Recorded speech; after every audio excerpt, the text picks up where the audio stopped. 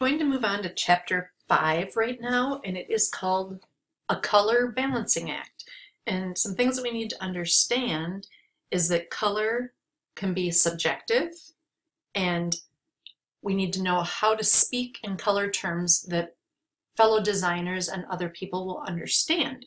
So we need to distinguish between the additive and subtractive color systems. There's a side-by-side -side of them right here. And we're going to do that to understand how color or how the color wheel is used in Photoshop. Once we understand that, we're going to do some color adjustments. So there are two ways that color is created. Um, one uses light as the source, and it is called the additive color system. So that's the one that I pulled up right now just to show you some graphics. So additive means we keep adding light. So I want you to literally picture spotlights aimed at one spot on a dark wall, like over here on the right or here. One spotlight is red, one spotlight is blue, one spotlight is green. Where red and blue light overlap, we see yellow. Where red and blue, I don't know if I said that right, red and green. Where red and blue overlap, we see a purplish color here, kind of a magenta. Where green light green light and blue light overlap, we see kind of a cyan. And where all three of these overlap, we actually see white. And where there is no light shining, we see black. So in the additive color wheel, we work with red, green, and blue, RGB. And anything that shows color based on light emitting from behind it uses the RGB color system. So that means your computer monitor, your phones, your iPad, a device, anything that uses light to shine color is how we get the additive color system. Here's another example. And again, think of it as light. When light is concentrated in one spot, it gets brighter and brighter or white. The opposite of that is the subtractive color system. and I'll switch to this graphic, hopefully. And that's when we are actually using ink and putting ink down on paper. We use cyan, which is this color, CMYK, cyan, magenta, yellow. Those are our three colors, if you will. And when cyan and yellow overlap on ink on a sheet of paper, it becomes a brighter green. When we put cyan ink down on paper and mix it with magenta, we get blue.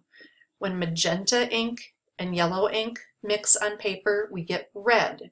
When all three of these ink colors overlap or smudge together, we get black, but not really. We kind of get this dirty, dark brown called theoretical black, which is why in print we have a fourth color called K, black or registration. So CMYK stands for cyan, magenta, yellow, and the K stands for black or it can also be called um, the registration color.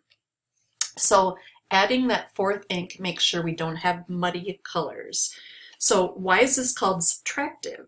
So when printing with the subtractive colors, you get white if you subtract from them. So if you take away from these ink colors on paper, you're left with white.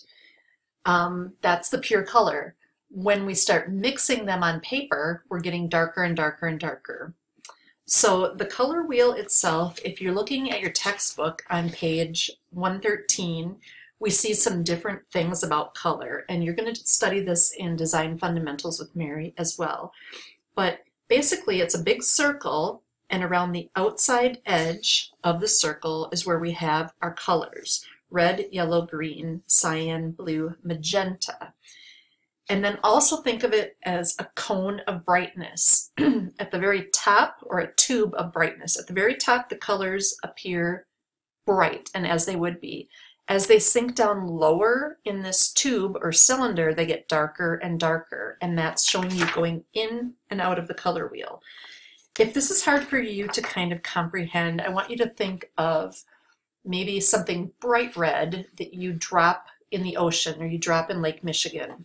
When it's floating on top, it's bright red, but as it starts to sink and get lower and lower, it starts to get darker and darker until eventually you can't tell what color it is. That's how you can kind of think of the brightness part of the color wheel. So how colors are born. We're actually going to build something in Illustrator to show this.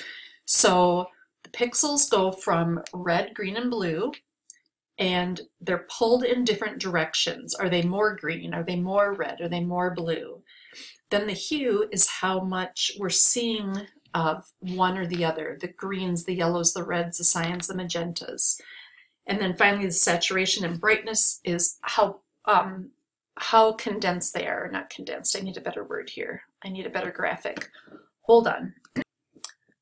All right, if you're looking at your textbook for these examples on 114, that's great. If not, I'm going to try to have a visual on the screen. And um, this one does a really pretty good job of it. So on the color wheel, we also see a color wheel up here, the colors going around the circle or around the wheel like we see here, these are the hue and they range from 0 to 360 degrees. So we go from our yellows to our greens to our blues to our purples, reds, oranges, and back. Again, hue is around the corner, or around the outside of the circle. So you see it right here in this um, graphic and right here. The next part is the center of our um, circle. And as we go from the center out, we change the saturation. So centers, colors at the center are fully desaturated, so they're down to white. And then as we move out to the color, full saturation is out here. So here's a bright blue color out here, fully saturated.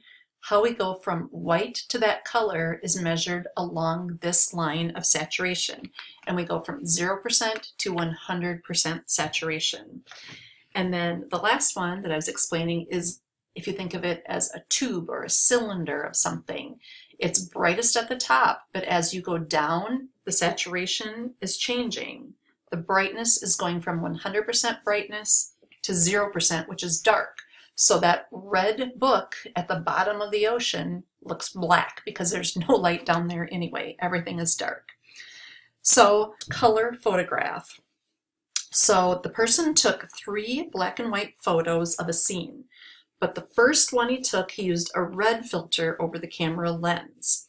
The second shot was with a green filter, and the third was with a blue, so RGB.